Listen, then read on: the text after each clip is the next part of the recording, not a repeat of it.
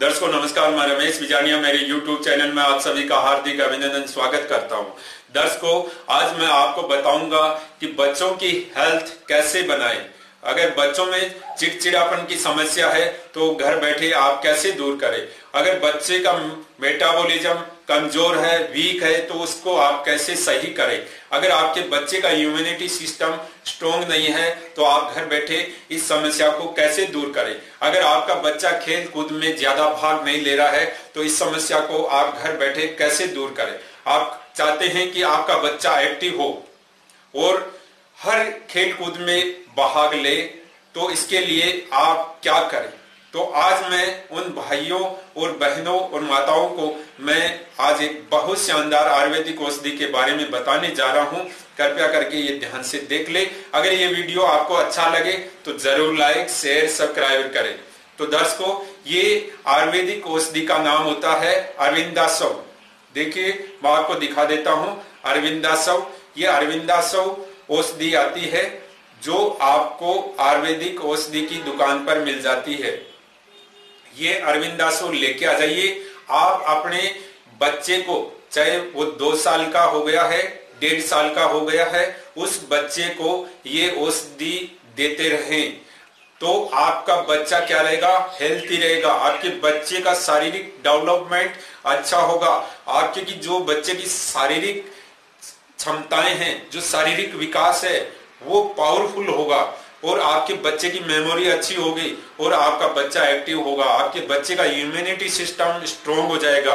और इस दवाई को आपको कैसे उपयोग में लेना है, सुबह, शाम आप बच्चे को दे सकते हैं। अगर ज़्यादा ही बच्चे की आपके कब्ज की समस्या रहती है, अगर आपका बच्चा दुबला पतला ज़्यादा है, आपके बच्चे का हाजमा सही नहीं है, और आपके बच्चे में बहुत ज़्यादा कमज़ोरी है तो इसको आप सुबह दोपहर शाम को भी दे सकते हैं। एक स्पून इसका दे दे बच्चे को नरम पानी के साथ तो बच्चे का धीरे धीरे इम्यूनिटी पावर स्ट्रोंग हो जाएगा और बच्चे का शरीर अच्छा हो जाएगा। तो इस प्रकार आप इस औषधि का अगर सेवन करते हैं तो आपका बच्चा स्वस्थ और निरोग हो जाएगा।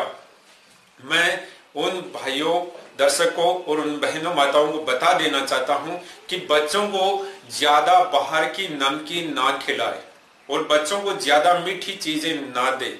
बच्चों को ठीक अच्छे तरीके से दूध पिलाए और ज़्यादा मात्रा में दलिए का सेवन ज़रूर कराए बच्चों को। सर्दी में अगर आप बच्चे को बाजरी का दलिया देते हैं तो आपके बच्चे के अंदर बहुत पावर आती है और आपका बच्चा स्ट्रोंग होता है, मज़बूत होता है तो ज़्यादा मात्रा में आप बच्चे को दलिए का सेवन ज़रूर करवाए और जब भी बच्चे को आग, को रोटी अगर अनाज देते हैं तो उसके साथ में थोड़ी बहुत सलाद भी दे। बच्चे को जैसे सीज़न या ऋतु की जो भी सलाद है, वो बच्चे को ज़रूर खिलाए। जितनी बच्चा खाए, उतनी खिलाए।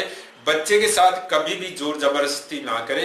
अगर बच्चा नहीं खाना चाह रहा है, थोड़ी देर आप देखते रहे। वो आपसे ज़रूर कुछ न कुछ मांगेगा, क्योंकि उसके अंदर भूख लगेगी। तो भूख लगेगी तो ज़रूर कुछ न कुछ मांगेगा। तब आप अपने पास ऐसा पौष्टिक आहार रखें, ताकि बच्चा वो खा ले। घर के अंदर ज़्यादा नमकीने, इस तरह की चीज़ें, बाहर की चीज़ें रखोगे तो बच्चा ज़रूर खाएगा। तो आप भी इस तरह की चीज़ों का सेवन करें, ताकि बच्चा उन चीज़ों का सेवन करेगा। क्योंकि बच्चा आपको देखकर खाता है। कोई भी चीज़ आपके कोई सदस्य अगर खाता है तो बच्चा उसको देखता है तो ज़रूर उसका सेवन करेगा। तो आप जो काम की चीज़ें नहीं है, उन चीज़ों को दूर रखें। जब भी आप मार्केट से जाते हैं तो बच्चे को ठीक अच्छी चीज़ दिलवाए ताकि बच्चे का शरीर खराब ना हो। क्योंकि बच्चे के दांत और पेट ज़्यादा खराब कैसे होते हैं? क्योंकि अगर आप बच्चों को मीठी टॉफी और महँगी चॉकलेट अगर खिलाते हैं तो बच्चे के पेट में और बच्चे के दांत में काफ़ी समस्याएँ पैदा हो जाती है। तो आप बच्चों को इन चीज़ों से ज़रूर बचा कर रखें। अगर बच्चा जिद करता है तो प्यार से समझा दे, नहीं तो कभी बच्चों को थोड़ा सा डांट कर भी समझाए, ताकि आपका बच्चे का शरीर खराब ना हो। क्योंकि बच्चे का शरीर सबसे इम्पोर्टेंट है, महत्वपूर्ण है। वही बच्चे का शारीरिक विकास है। अगर आपने बच्चे का शारीरिक विकास का उसी टाइम ध्यान नहीं रखा तो फिर वो आगे आने वाले समय में धीरे धीरे बीमार हो सकता है और उसका शरीर कमज़ोर हो सकता है। तो ये इन आयुर्वेदिक औषधियों का उपयोग करके अपने बच्चे को स्वस्थ और निरोग करें। और मैं, मेरे दर्शकों, मैंने ऐसा एक वीडियो डाल रखा है, एक से पाँच वर्ष तक के बच्चे को अगर वो आयुर्वेदिक औषधि आप खिलाते हैं तो आपका बच्चा शक्तिशाली और फौलाद की तरह ताकतवर रहेगा। और आपका बच्चा कभी बीमार नहीं है। ये वीडियो मैंने रो हमर पर भी इसी में डाल रखा है। तो दर्शकों, इस अरविंदा रस्व का प्रयोग करें, अपने बच्चों को ज़रूर पिलाए, ताकि आपका बच्चा हष्ट पुष्ट रहे, तंदुरुस्त रहे, मज़बूत रहे, शक्तिशाली रहे। अगर ये वीडियो अच्छा लगे तो ज़रूर लाइक, शेयर, सब्सक्राइब करें। धन्यवाद।